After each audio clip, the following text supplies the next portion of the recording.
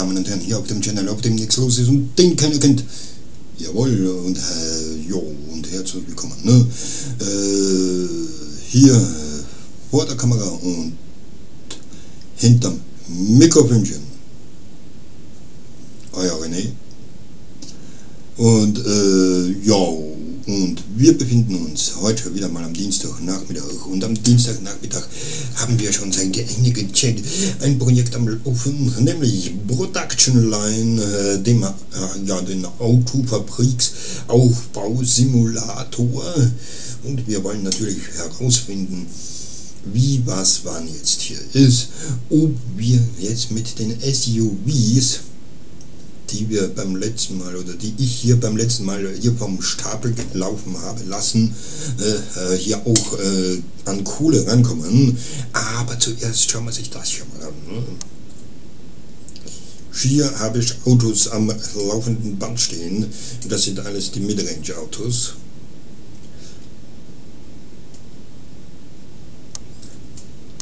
Preislich gesehen schauen wir uns das natürlich auch an. Also Budget-Car ist klar, ne? Medium, mit Mid-Range, Compact, sollte auch dann so weit sein. Ne? Also beim Sedan würde ich sagen mal, ne, dass man da mal ein bisschen hochschrauben. Ne?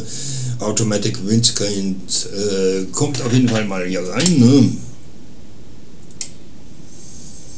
Heater ist sowieso auch schon drinnen.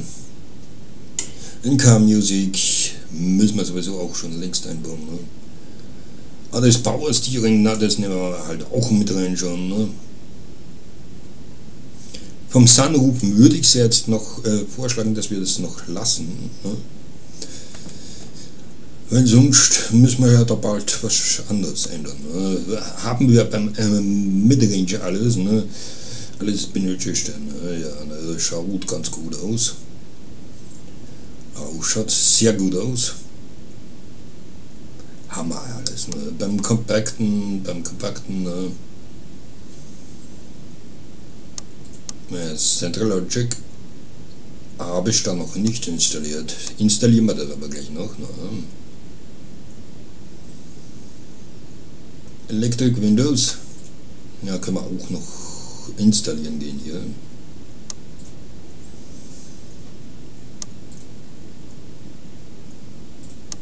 Ja, warum nicht? Ne? Wird sowieso äh, Universal.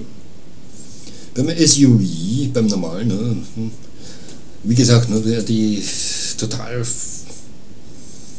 Upgrade-Sachen, ne, die, die lassen wir mal noch. Ne? Die wollen wir dann natürlich hier im, in der Luxus-Variante alles eingebaut haben. Bei statt einem Sunroof habe ich hier das Panoramic Sunroof installiert, selbstverständlicherweise. Ne? Jo, dann schauen wir mal, ne? ob das hier funktioniert, wie es funktionieren soll. Oder ob ich hier Problem habe. Was bist denn du für einer? Du bist ein Sedan M. Sedan Ms werden mir nicht wirklich verkauft.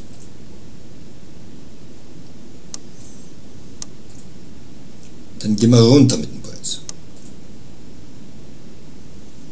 Auf 40 Prozent.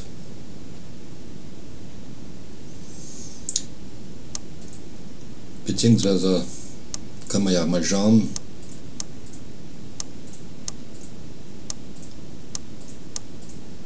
Oh, oh da machen wir Machen wir mal eine schöne Summe mit 30% hier.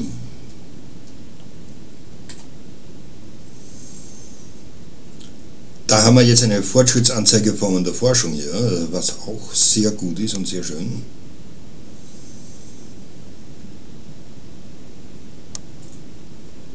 Und ich glaube, beim Sedan M muss ich schon runterschrauben noch. So.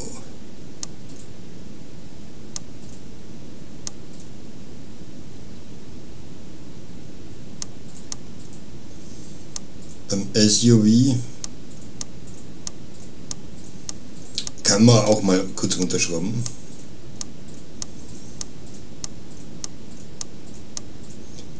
Müssen wir schon wieder mal Preise hier nachstellen. Mach mal auf 70%. Und beim LX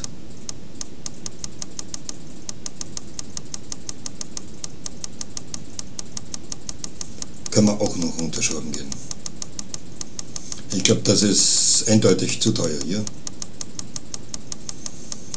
Prozentmäßig äh, expensive 250. Na, lassen wir das einmal so. Ne? Mal schauen, was sich hier verkauft oder was sich nicht, äh, nicht verkauft. Ja, jetzt verkauft sich da mal einiges. Das, das ist ja nicht einmal so schlecht. Ne? Das kann ruhig ein bisschen runter. Ne? Ah, Market ist was Neues. Äh, ich habe noch nicht das äh, DevBlog gesehen, aber äh, dass wir da mal einen Market anschauen können. Ne? This screen shows you a breakdown of the market uh, demand uh, for each combination of car, body style and price category. Green boxes show market segments where you have cars on sale. Others are markets uh, you have not yet broken into.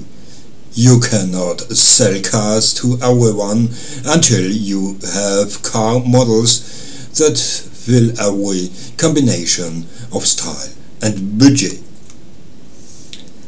Das heißt für uns, wir gehen mal in die Planungen. Ja, yeah. wir gehen jetzt hier in das Marketing-Segment rein. Wir schauen uns an, was müssten wir tun oder was muss ich tun, damit ich überall mitspiele. Und wie man hier sieht, äh, vom Kompaktwagen habe ich momentan nur das niedrigste, das Budget.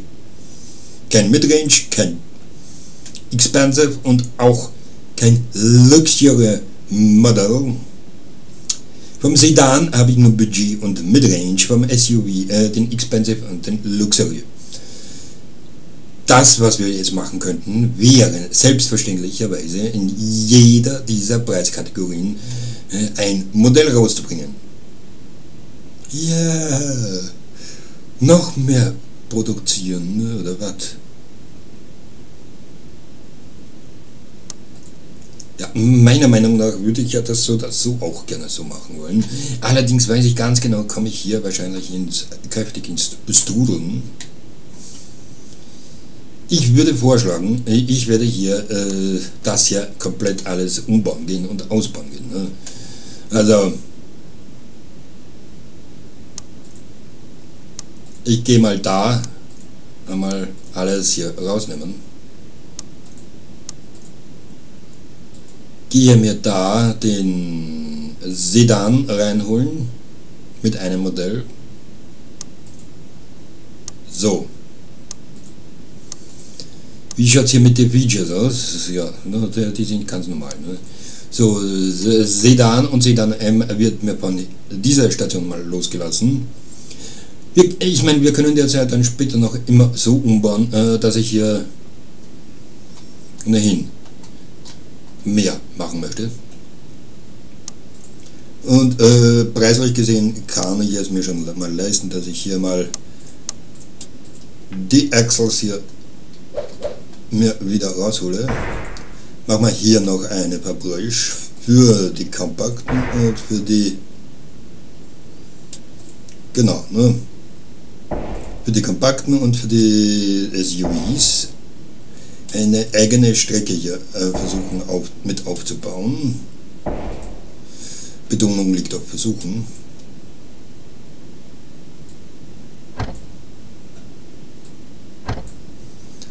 Dann ist nichts wissen, ob funktionieren oder nicht. Dann brauche ich noch die Conveyor. Und ich würde vorschlagen, ich werde da oben äh, gleich mal ein bisschen noch mit ausbauen gehen dann. Für den Anfang.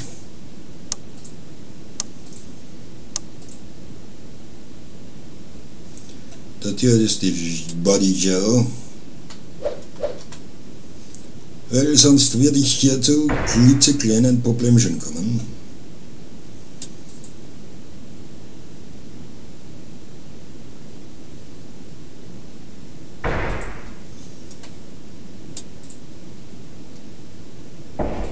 Und ich weiß genau, was sich hier manche denken werden. Der Trottel, der macht da gerade einen riesen verdammten Blödsinn. Das war das äh, da, drin da, ne? Dann haben wir da der Arches.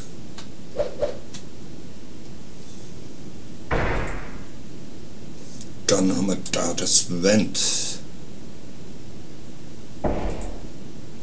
Nach dem Wind kommt der Ruf. Nach dem Ruf kommen die Doors. Und das hier aber bitte aufgesplittert. Nach dem Doors kommen noch der Windows. Und die Außenspiegeln bitte schön. So. Das muss man natürlich jetzt auch noch alles mit anschließen. Jetzt so nicht geplant. So. Schließen wir mal alles nach der Reihe an.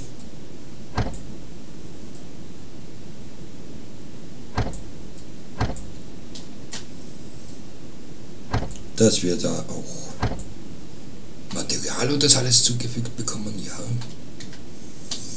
Und gehen hier hier aufs Blättern. Hier zusammenholen. Und hier aufs Blättern. Dann gehe ich es hier noch zusammenholen wieder. Äh, damit sich die Fahrzeuge mehr oder weniger äh, selbst aussuchen dürfen und können, wo sie dann jetzt rein wollen. Ne?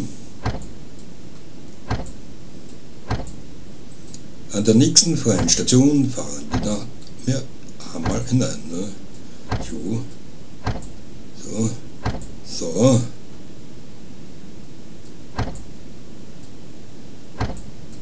Und hier geht's raus da. Ne? Das gleiche System hier drüben.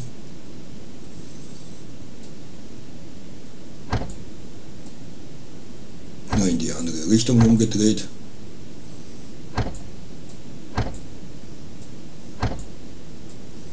So.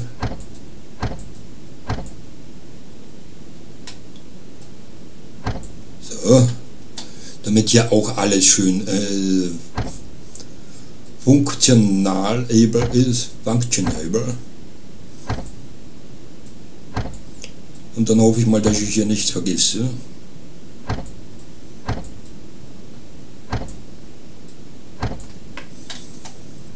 Wenn sich ja mal was staut, dann staut er sich wenigstens nicht gleich komplett. Und hier brauche ich nur noch raus und darüber. Und damit hier auch das produziert wird, was ich möchte, nehmen wir da mal den SUV und den SUV LX mit einmal. Und hier herüben äh, gehen wir noch ändern auf den Kompaktwagen einmal. Ne? So. Und dann schauen wir sich das Ganze mal an.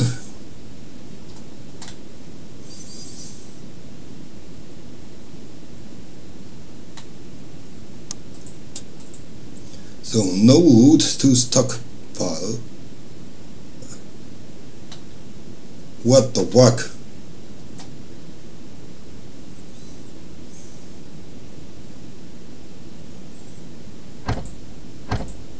Ja, da habe ich vergessen, ne?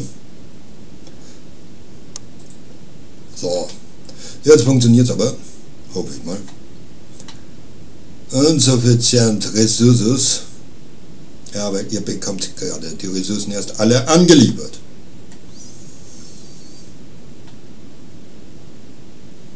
Und da habe ich vergessen, äh, eine Verbindung zu, reinzusetzen.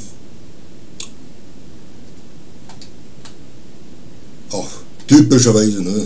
So, jetzt haben wir da schon mal eine größere Fabrik. Die Ich habe hoffentlich noch vergrößern da unten. Ne? Und dann können wir natürlich auch auf die Planungen äh, zugehen. Wie schaut es jetzt da aus? Ich würde vorschlagen, äh, wenn schon, dann steigen wir so richtig rein ins Geschäft. Ne? Decken wir mal alle Möglichkeiten ab, die es gibt. Werden wir das hier nehmen und umbenennen auf Sedan X. Dann gehen wir da äh, rauf auf den Expansive Preis. Wenn ihr den da mal findet.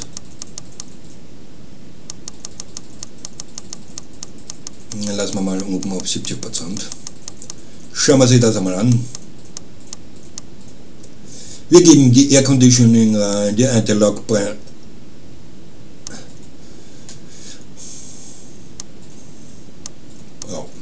Air Conditioning, Anti-Lock Bremse, uh, Automatic Whites, Windscreen Wipers, Auto Steer Headlights, äh, Bluetooth lassen wir noch draußen, Car-Alarm kommt rein, Central Leuchtstring, Cruise Control. Hm. Da gehen wir halt auch schon rein. Ne? Driver, Airbag, gehen wir auf jeden Fall rein, das müssen wir reingeben. Keyless Entry können wir schon ruhig reingeben. Leather Interior würde ich noch nicht reingeben wollen. Äh, Panoramic Sunroof würde ich noch nicht reingeben wollen. Äh, Passenger Airbag. Powered Steering äh, muss rein. Sunroof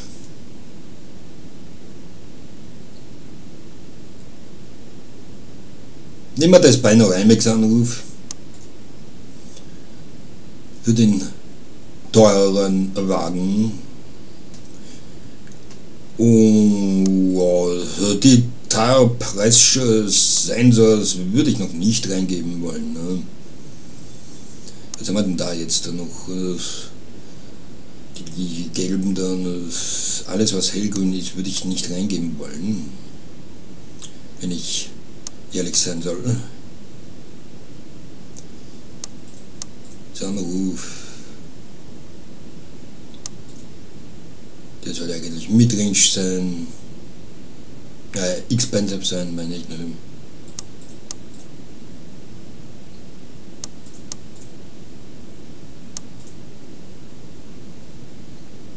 Äh, geben wir den auch das Panoramic Sunroof gehen wir auf 80 Prozent.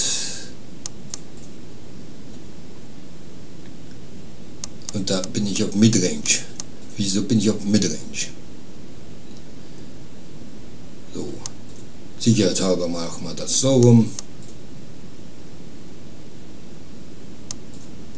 Leather Interior werde ich eingeben. Das nicht. Das auch nicht. Auch nicht. Da habe ich das Panoramic Sunroof reingegeben, aber äh, ich könnte auch das Sunroof reingeben, weil das wäre schon rot. Ne? Was niemanden. Äh, wofür entscheide ich mich? Äh, fürs Panoramic. So. Dann hält man das einmal so weit.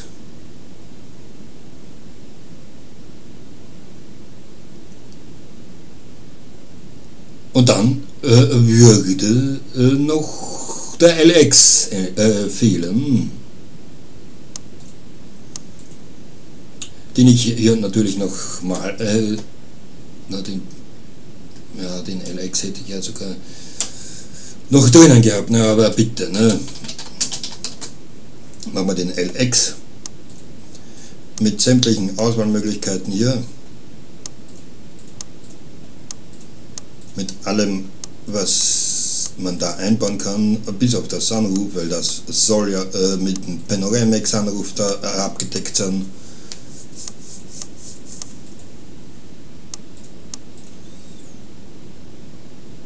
Und jetzt habe ich mich gerade verklickselt, Panoramic Sunroof, so. Und den geben wir da hoch auf Luxury.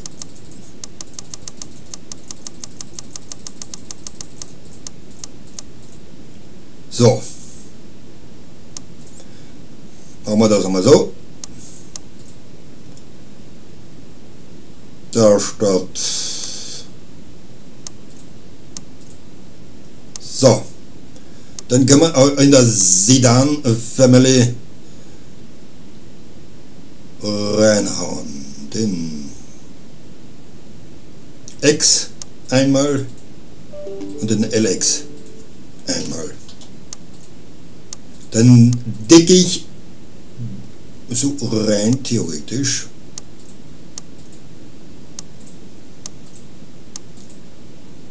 vom Sedan einmal alle, alle Varianten ab. Alle Budgetvarianten werden hier abgedeckt. Und da sieht man auch, äh, was jetzt da so verkauft wird und was nicht. Ne? Äh, Kundenanzahlen sieht man schon, äh, was ich super finde. Man sieht ja da wirklich alles. Ne? Hier sieht man Kundenanzahlen. Wie viele Kunden gibt es für dieses Modell? Ne?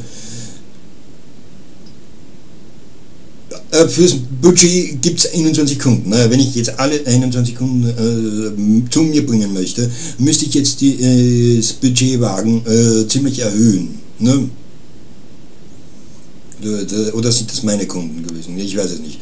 Auf jeden Fall gehen hier auf jeden Fall plötzlich die ganzen Modelle hier weg. Bis auf das hier wahrscheinlich, ne? Ja. Das ist klar jetzt. So, Preiskontrolle, Midrange, Budget, Expensive und Luxury. Kontrolle hier, äh, ob hier alles passen wird. Ne? Ja, momentan, äh, es, es geht schon wieder mehr ein bisschen. Ne? Man sieht hier ist ein bisschen mehr los hier. Ne? Äh, da fängt es sich ein bisschen leicht an zu stauen. Weil hier wird die nächste gleich wieder angefahren, wie man sieht. Ne? Und sobald sie äh, ja, schön langsam, ja, ne? Es geht aber voran hier. Ne? Es ist, hier, noch nicht der definitiv große Stau, wie wir ihn schon mal erlebt haben in dem Spiel. Und genau der hier wird mir äh, kaum verkauft. Ne? Ähm, da muss ich mal kurzfristig mal ja, kurz runter, dass ich den hier mal los wird. So, jetzt habe ich ihn los, jetzt kann ich da den Preis wieder mit Range setzen.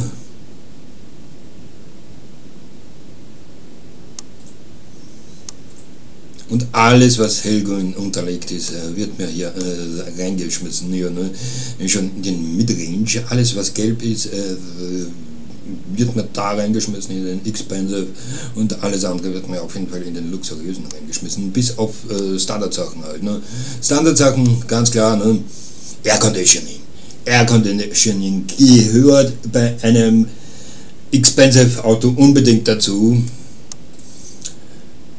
Bei einem Basic Car kann man es vergessen, da muss man es nicht, da braucht man es nicht in einem Midrange, ja, warum nicht? In einem Mittelklassewagen, so Air Conditioning ist auf jeden Fall schon mit dabei. Ne? Wie schaut es eigentlich äh, sonst mit der äh, ganzen äh, äh, Procedure aus? Ne? Wir sind eigentlich mit der Forschung hier ganz gut im Rennen es hat uns da noch keiner so was jetzt weiter vorangeforscht. Was uns natürlich dazu bringt, dass wir hier in der Technologie dann in der nächsten Folge äh, dann äh, schauen werden, dass wir da in der Technologie wieder einen Zahn zulegen für unsere Luxusserie natürlich. Ne? Wir wollen unsere Luxusserie auf hohem Niveau haben mit 100.000 verschiedenen andere Sachen und das bringt uns hier unsere Technologie. Und wie gesagt, äh, wie es hier in der Technologie dann weitergeht und all den anderen Rest, am Donnerstag erfahrt ihr es bereits um 17 Uhr. Seid gespannt, bleibt dann, bleibt dabei. Ich bedanke mich fürs Zusehen und äh, sage Tschüss, Servus, Bye Bye, schöne Woche noch und äh, am Donnerstag geht's weiter.